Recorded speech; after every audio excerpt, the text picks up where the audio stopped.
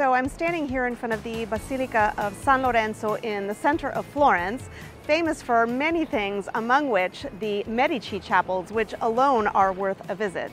Although the Medici chapels are actually a separate part from the church and you have to pay and book that in advance, but that is the subject of another video. On today's video, I want to show you how to get from the center of Florence, which is where we are, to Piazzale Michelangelo, which is on the opposite side of the Arno River.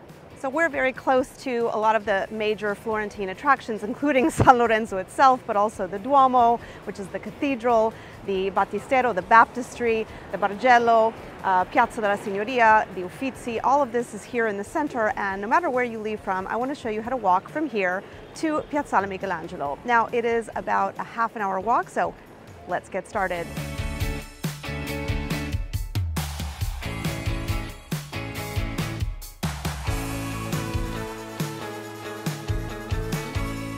We have reached the Piazza del Duomo, which is where the Duomo is, the cathedral and the Battistero.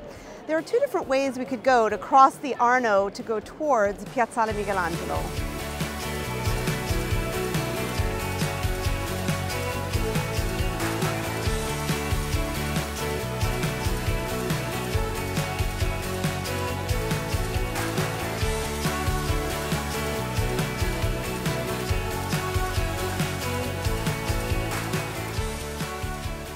At this point, we are going to head over to Piazza della Signoria, which is just behind me, because we're going to take a different bridge to cross the Arno River. If we were to keep going straight, we would have crossed the Ponte Vecchio, arguably Florence's most famous bridge, but it is also the most crowded. Now, by heading to Piazza della Signoria and continuing that way, we're actually going to cross a different bridge called Ponte alle Grazie, and it's going to take us across the Arno just the same, but the bridge should be considerably less crowded, so let's go.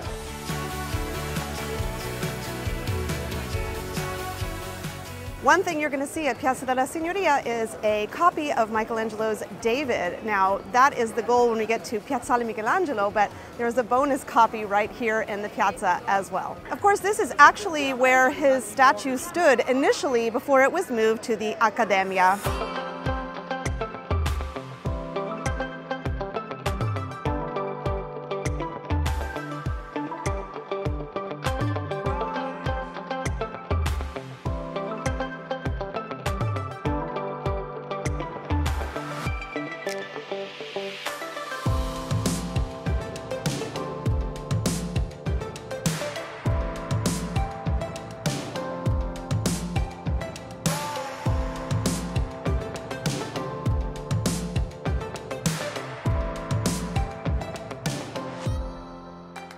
Now Alessandro's going to get a coffee at one of the best coffee places in Florence, Ditta Artigianale.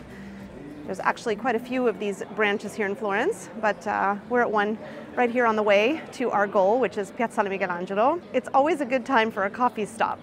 So what it makes interesting about this kind of uh, you know setup is the fact that you have a counter literally, I just paid my bill by the way, uh, a counter literally on the street. And uh, when you go uh, and ask for your coffee, uh, especially, they're going to serve your coffee at the window. Right That's there? That's what I'm going to have. I love it. So a cup, my espresso, my stretto. That's what I want, ristretto. And uh, so I'm going to enjoy my uh, first coffee in the morning here at the bar Artigianale. It's a relatively new brewery since 2013, but the guys did do an excellent job. And it's so creamy and it smells so good.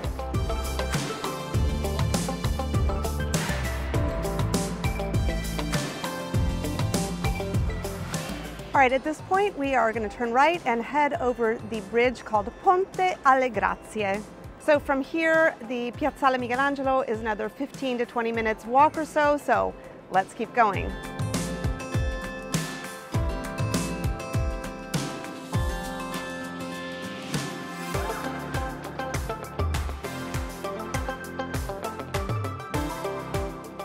Well guys, we are walking over this bridge and it's a little windy, but it is also really uncrowded and it's nice to be able to see the Ponte Vecchio over there and have all this kind of wide open space. In this moment, I would say that it's not actually pleasurable to cross the Ponte Vecchio. It's really packed and You're not going to be able to get uh, great pictures. It's going to be hard to go shopping if that's what you're looking to do. It's just wall to wall people. So this is a nice way to cross the Arno without that huge crowd.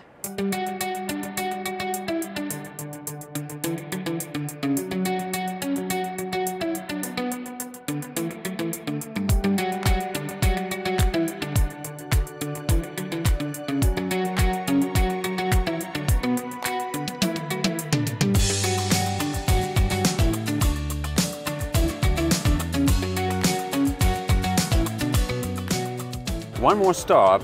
Behind me, you'll see a gate, kind of arch, uh, which is Porta di San Miniato, which eventually will lead us our walk all the way up to Piazzale Michelangelo. Very panoramic scene. So two streets, very important. The heart of the neighborhood. The neighborhood is called Oltrarno. And to my right, there is a Via di San Nicolò. Straight ahead, behind me, it's a Via di Porta San Miniato, which takes the name eventually from the gate or the Porta. So, and I highly recommend you to stop either before or after your walk to Piazzale Michelangelo. There is an excellent stop right here. It's an excellent bar. It's called the Bar Rifrullo. It's very popular among locals and tourists alike. You see a lot of tourists, you know, in and out and, uh, you know, walking around these streets.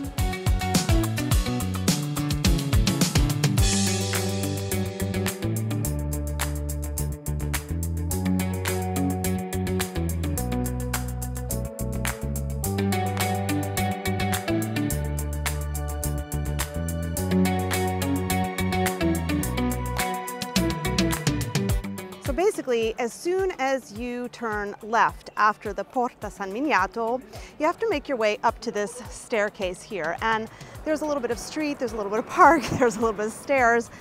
Pick which one you want to do, make your way, but the bottom line is the goal is to get to the beginning of this staircase and then you can start winding your way up. Ready, honey? Let's head yeah. up.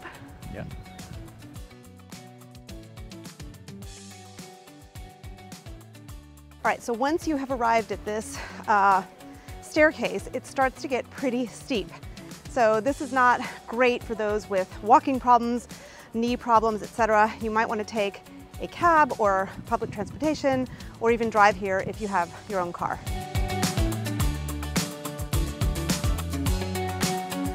even from this midway point, it's pretty amazing. Uh, you've got the Duomo behind me, you can see that there, but off in this direction, you can also see the towers that used to protect the city, and they are intact. It's, it's a pretty amazing view from up here, and we're not even all the way at the top yet.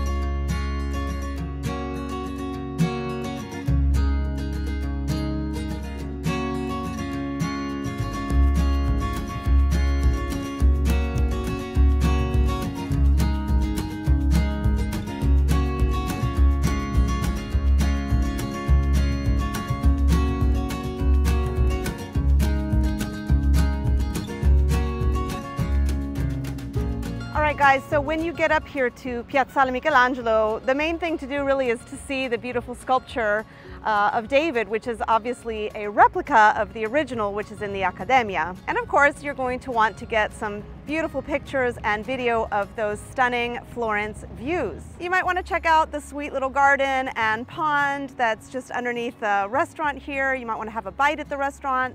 There are also a bunch of little stands and shacks where you can just grab some fast food. And nearby, if it's springtime, you might want to visit the Iris Garden and the Rose Garden as well.